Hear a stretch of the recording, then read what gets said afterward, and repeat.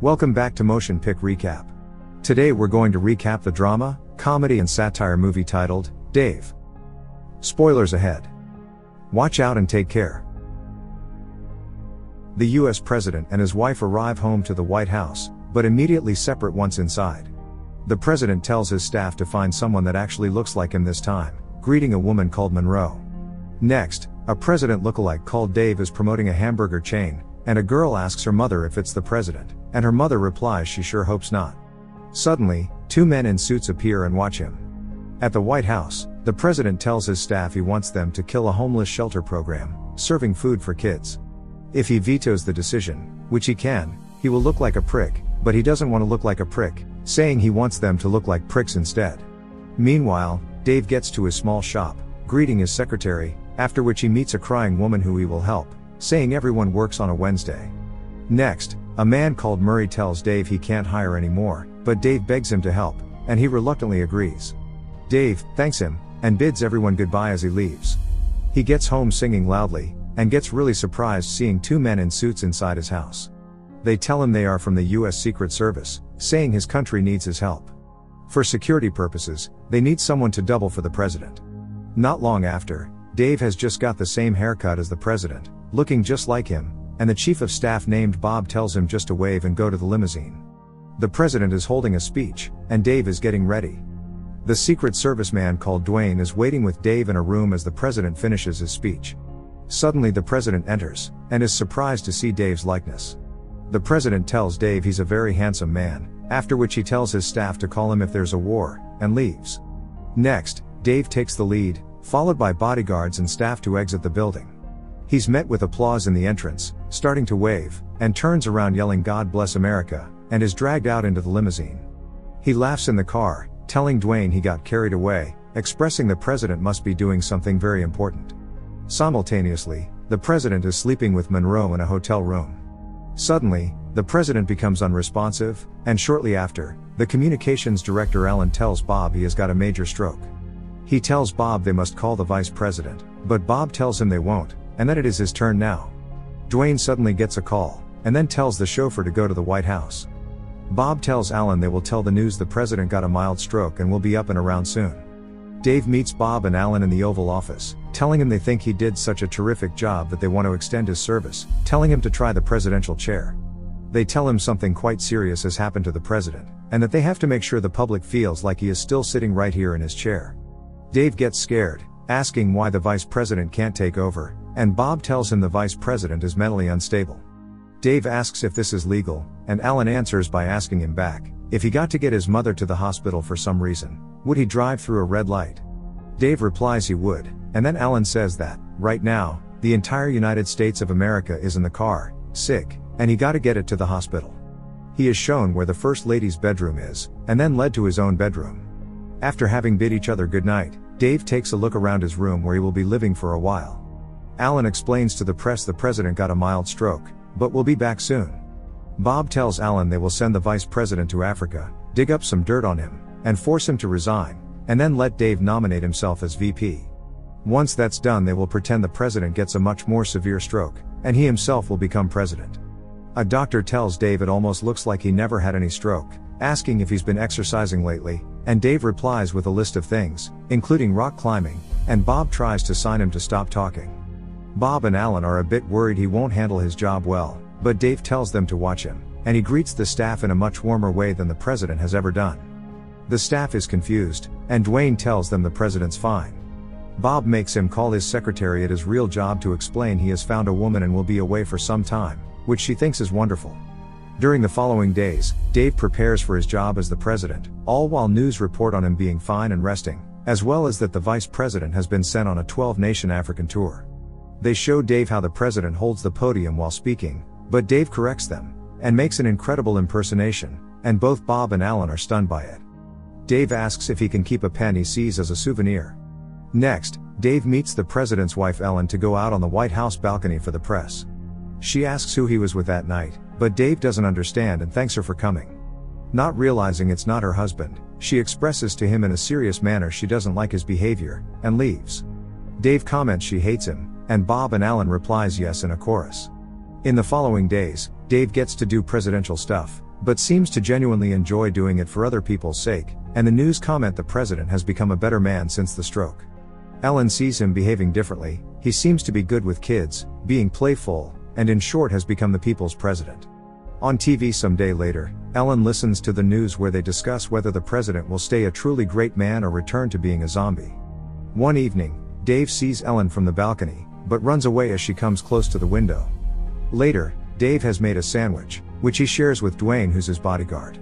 He asks Dwayne if it's true that he would take a bullet for the president, and Dwayne answers, Certainly.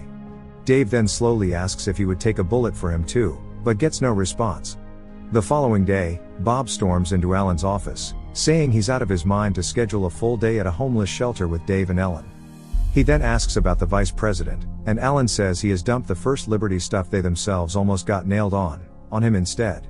In the car, Ellen asks at which point he began to care for the homeless. He says he's always cared, and looks at her leg, which she notices. They are greeted by homeless kids, and Dave is surprised they are all kids. As they are showing how the kids learn communication at the shelter, Dave sees a lonely boy in a corner and goes up to him. He asks the press not to bother them. And then asks the boy's name, which is David, and Dave says it's a great name. They have a friendly conversation, and Dave does a magic trick for him, all of which Ellen sees. Dave is making a montage of everything he's done as president, commenting Dwayne is in some photos, saying he'd probably look good in a sweater. Simultaneously, Bob is seen vetoing some decisions with the president's signature and stamp. Not long after, Ellen walks in on Dave, angrily saying she can't believe he did it, and Dave asks what he did. She demands he turns around and looks at her, and then says that the bill he vetoed would have given those children homes, but now they won't. Dave doesn't understand, but she says it's not a mistake when you veto their funding. Dave runs after, but she won't listen. He asks Dwayne to get Bob and Alan immediately. He demands an answer, asking why they vetoed the funding for that shelter. Bob then irritatedly says that if he can cut $650 million from the federal budget, he can keep those lousy shelters, and angrily leaves. Next, Murray arrives at the White House. He meets Dave in the Oval Office, saying he's in so much trouble if the government finds out, and Dave replies he's the government. Dave then asks Murray to help him cut the budget, about $650 million. He calls on his secretary, asking to get a copy of the budget, and if there's any chance they could rustle up some fresh bratwurst and hot mustard, which Murray loves. Next, Murray questions who does the books, commenting he'd be out of business if he ran his own company this way. Murray then shows Dave how they could cut $650 million from the budget. The next day, Bob is singing happily, showing Ellen how the vice president is now linked to the scandal. Bob asks why there are cameras, and Ellen says it's the 100th cabinet meeting. Dave enters, and says he want to cover some things in the budget. Bob protests, saying it's not on the agenda, but Dave replies it's a last minute change to save the shelter. Dave explains he found some defense contractors that aren't delivering on time, and so asks if they could hold back their payments, put it in an interest bearing account. They confirm they can, and Dave is glad since they will make $276 million from that. Dave then lists another thing they can cut an ad campaign boosting consumer confidence in the auto industry, which could save them $47 million. He lists some more things, and after a while, they have managed to cut $656 million from the budget, and so can keep the shelter, and people cheer, all except Bob. A guy informs Ellen, saying she can't believe what her husband just did. Bob says he will ruin Dave, but then Ellen says they will all go to jail together, threatening Bob to reveal they are behind the First Liberty stuff. That evening, Ellen walks in on Dave, and they start a conversation. She comments he did a good thing today, saying it kind of reminded her of what he did a long time ago in the state legislature.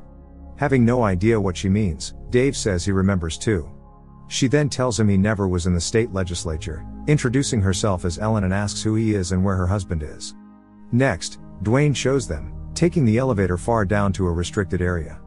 Ellen sees her husband and asks what happened. Dwayne says he got a real bad stroke, and probably won't wake up. Ellen packs her things to move back home, away from the White House. Dave enters and asks how she is going to get home, and she replies she had not thought that far. He shows her a tunnel, leading out, and says Dwayne has left them a car nearby. In the car, he asks when she first noticed he was not her husband, and she says it was on the way to the shelter when he looked at her legs. Dave says he thought it was in the shower, but she says no. Suddenly, the police stop them. They ask them to step out of their car, and as he sees them, he thinks they are the president and first lady. People start watching, and Dave begins explaining they are lookalikes, being hired to impersonate the president and first lady. He makes some funny impersonating acts, and people like it. After a while, one of the cops says he won't give them a ticket, and lets them go. Next, Dave has bought Ellen a special sandwich he loves himself, and she thinks it's good. She asks what he does, besides being president, and Dave explains he finds people jobs. Ellen asks what he would do if he had one more chance to be the president, and Dave answers he'd do a lot of things. As the two return to the White House, a guard is surprised to see them. The two get inside, and Ellen says he'd make a great president, after which they go to their separate rooms. The following morning, Bob is furious, storming through the White House, into the Oval Office. He tells Dave he can't call press conferences, telling him he's a nobody, and that he must ask him before doing anything. Dave then stands up, telling Bob he's fired. Furious, Bob says he can't fire him, but Dave ignores him. Ellen walks in, calling Dave darling, kissing him, and says the media is waiting for him. As they leave, Dave asks Bob to leave his resignation on his desk. Next, Dave tells the press he asked Bob, the chief of staff, to resign because he and Bob has come to believe in different things. Dave then promises his administration from today will find a job to anyone who wants one. The press laughs, but Dave continues explaining how people light up when they finally get a job, saying they look like they can fly, since a job creates self-respect. Dave then says you don't really know how much you can do until you stand up and decide to try, and everyone becomes silent before he leaves. Next, news and different senators from around the country comment they think the president's job program is great. As Dave gets to the office the next day, the vice president Nance is there, respectfully greeting him, and showing him gifts from different African countries. Nance says he knows they haven't always gotten along, which he respects, but then gets angry and asks how he could do this to him. Dave doesn't understand, and Nance tells him he surely knows he had nothing to do with the First Liberty stuff. Dave says he will fix it, which confuses Nance. Next, Alan explains to Dave what they did. Dave says it's wrong, and Alan replies he knows and is he embarrassed, but that it was Bob's idea. Simultaneously, Bob is holding a press conference, explaining he's found the president being involved in the First Liberty stuff too. Dave sees it and thinks Bob is making it all up, but Alan explains the president actually did it. Not long after, Alan advises Dave not to do what he's about to do, but Dave says they can't go into hiding now. That evening, Nance visits Dave, telling him he thinks his jobs program is a great idea. Dave asks how he got started in politics, and Nance shares his life story, saying he once was a shoe salesman. One day his wife asked him to run for office, since he had always talked about it all the time. During his lunch break the next day, he went down to the registrar of voters, and next thing he knows he's a councilman. His wife was a campaign manager, and they had a budget of $2,000, including advertising, and that was it. He asks Dave how he got started, and Dave replies, kinda the same way. Later, Dave asks Ellen if Nance is a good man, and she answers he is. Next day, News explains the president has requested a rare joint session of Congress to personally answer the allegation by Bob. Before going in, Dave tells Alan to relax and enjoy the moment. Meanwhile, Bob has invited people to his house. Dave walks up to the podium, and as he starts talking, Bob watches, and Ellen does the same. He begins by saying all charges by Bob are absolutely true, but that it's not the whole truth. Dave then picks up documents, explaining these papers prove that Bob was involved in the scandal too, and planned it as well. Dave also adds the documents show the vice president was never involved in any of it, saying Nance is innocent. Dave apologizes to the people of the United States of America for what he did, but in the middle of it, he starts stuttering, and then suddenly collapses. People are shocked and he's quickly brought to an ambulance. As they arrive at the hospital, doctors take the president into the building. Dwayne goes back into the ambulance, where Dave is. As Dave tells Dwayne to take care, Dwayne tells Dave in a genuine way he would have taken a bullet for him, and Dave smiles, after which he walks home. The news explain the president got another more serious stroke and is fully incapacitated. Nance is sworn in as the 45th President of the United States, and five months later, the president succumbs and is laid to rest at Arlington National Cemetery.